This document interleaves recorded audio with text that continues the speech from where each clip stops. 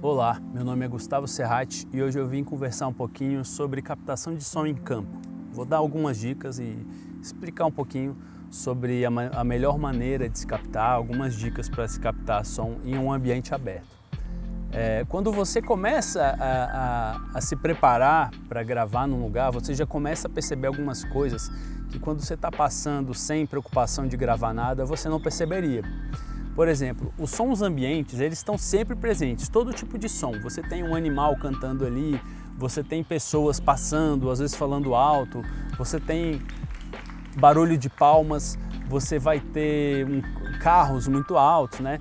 E para cada situação, ou você precisa buscar um novo lugar para gravar, um local mais adequado, ou se você tiver com os equipamentos corretos, você pode simplesmente se adaptar para aquela situação. No caso aqui, eu estou usando um microfone de lapela, é, é um microfone adequado para captar, no caso, uma pessoa falando. Ele tem várias vantagens, né? Um microfone discreto.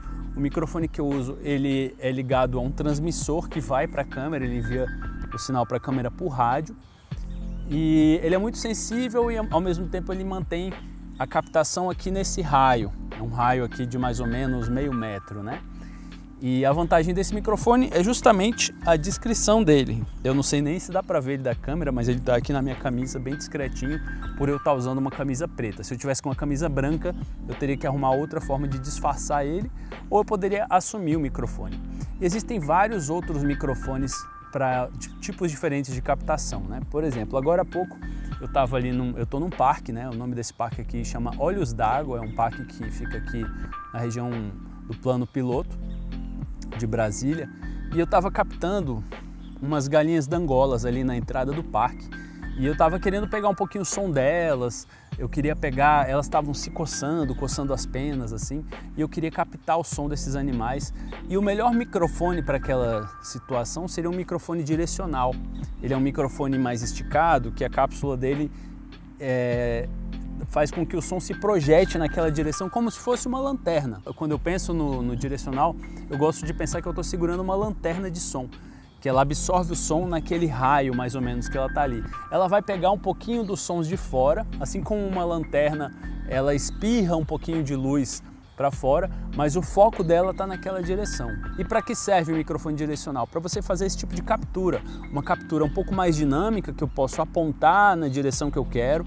Ele também serve para capturar diálogos, quando você tem várias pessoas conversando e você quer ter um ponto focal que pode ficar mudando de pessoa para pessoa, então nesses casos o lapela é interessante.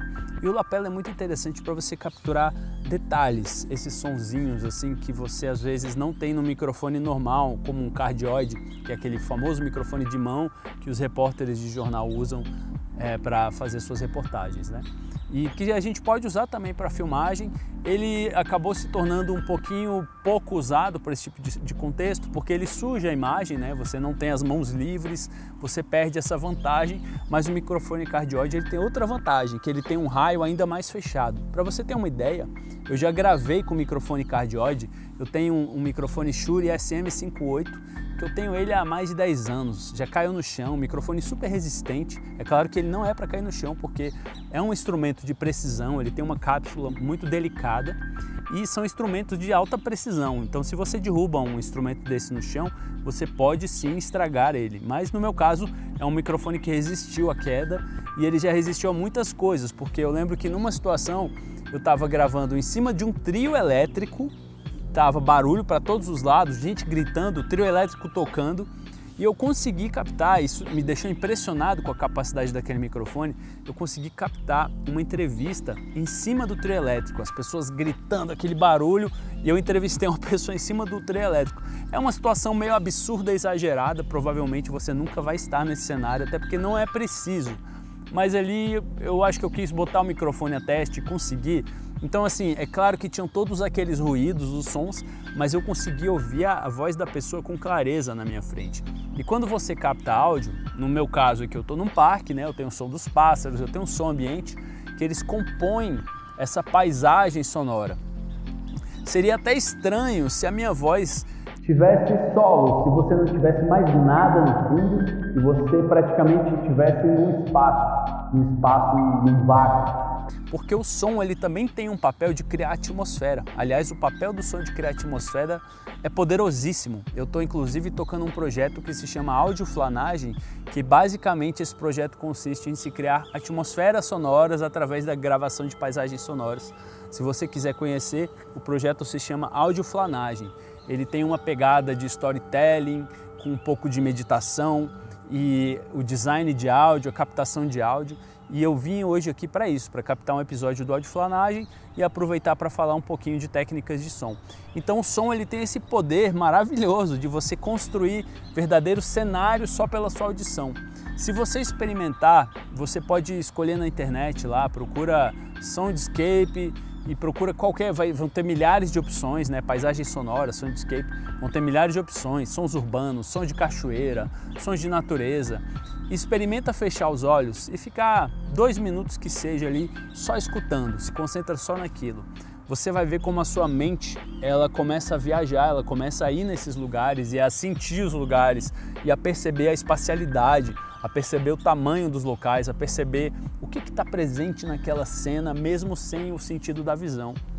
Eu estava conversando esse dia com uma amiga e ela falou um detalhe legal sobre isso, né? Que a visão ela ocupa, ela, ela, ela é espaçosa, né? Ela ocupa o espaço de todos os outros sentidos. Como a gente fica muito conectado com a nossa visão, você acaba não percebendo tanto as outras coisas. Nós temos um, uma sensação de tato da qual a gente só se lembra em determinados momentos. O nosso olfato é extremamente forte, a gente está sempre utilizando. A nossa audição também, ela tem a capacidade de enxergar pelos sons, né? E, e a visão, ela meio que nos distrai de todos os outros sentidos. Então, volta e meia, é legal você tampar sua visão, dar um descanso para os seus olhos e tenta perceber um pouco o que está à sua volta por outros sentidos é, é uma ferramenta que você tem à sua disposição e que você deve utilizar. Mas não só isso, você fazer esse exercício é um exercício relaxante, é um exercício que torna a sua imaginação mais ativa, porque você não está com tudo feito ali para você, você precisa construir imagens mentais do que você ouve. E é um exercício que te coloca de volta no presente, por isso que eu falo que é meditativo, mesmo sem a intenção de ser, porque quando você precisa prestar atenção no que está acontecendo à sua volta para você entender aquele lugar, isso é uma forma de se colocar no presente e é muito terapêutico praticar isso aí com uma certa frequência na sua vida. Mas você pode usar só para fins de entretenimento também. E, e, é isso. Então você perceber a importância do som no audiovisual, você perceber a, a enorme ferramenta que você tem acesso e que a maioria das pessoas não liga muito. As pessoas estão muito preocupadas sempre com a imagem, né? Mas um som bem feito, um som bem captado, um design de som legal, uma captura de som ambiente bem feita, uma captação boa de uma voz numa entrevista, tudo isso eleva muito a qualidade do seu produto audiovisual. Então é algo para se ter em mente sempre. Você fazer uma captação limpa, uma captação de qualidade, mas não só isso, dedicar um cuidado especial na edição depois para você melhorar esse áudio, para você dar mais pujança para ele, para você trazer a voz presente, né? Tudo isso você faz na pós, porque na captura aqui a gente captura um som mais cru. Eu tenho algumas frequências que estão junto com a minha voz que talvez eu não queira, então posso abaixar essas frequências, elevar a frequência da minha voz, puxar um detalhe, esconder outros, esconder os ruídos. Então você tem todo um trabalho de som é, que você faz após a captura que você pode fazer com o som, assim como pode fazer com a imagem. E é isso. É, esse foi o episódio de hoje para falar um pouquinho sobre a importância do som, para falar um pouquinho sobre microfones. E eu estou criando um curso agora que é um curso para falar sobre captura de som em ambientes abertos. E não só isso, na verdade, sobre captura de som para podcast, para criação de ASMR, para criação do que você queira criar, né? E eu estou elaborando esse curso. Fica ligado se você tiver interesse, vai comentando com pessoas que você sabe que possam se interessar também que eu quero trazer isso em breve aí. Vai ser a princípio um curso presencial, mas eu penso também lançar uma versão online dele. É isso. Obrigado pela sua presença, obrigado pela sua audição e volte sempre.